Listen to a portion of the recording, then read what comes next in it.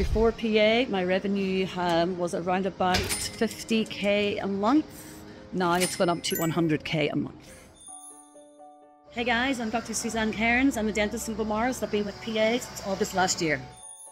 I joined PA after knowing something had to change. My books were too empty. I was working too many hours in the business, on the business. I have a young family at home, not even present for my two young kids. I knew something had to change. My energy was low, self esteem was low, too many hours working for very little outcome.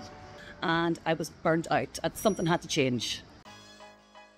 Things are way different now. I have cut my clinical hours by 50%. Profit has gone up. New patients are rolling in with the new POET system, and Facebook leads are burning hot. I love these events just for, well, number one, meeting all the old friends again, um, resets my intentions and keeps me focused for the next quarter. And wine also is a big plus. We are a very social bunch here. We work hard, we play hard. Um, I've met lifelong friends. My business is thriving, and I have way more time management. I can see my children more. My work-life balance has definitely improved, and I feel happier myself. Um, yeah, again, no-brainer, not a hard decision.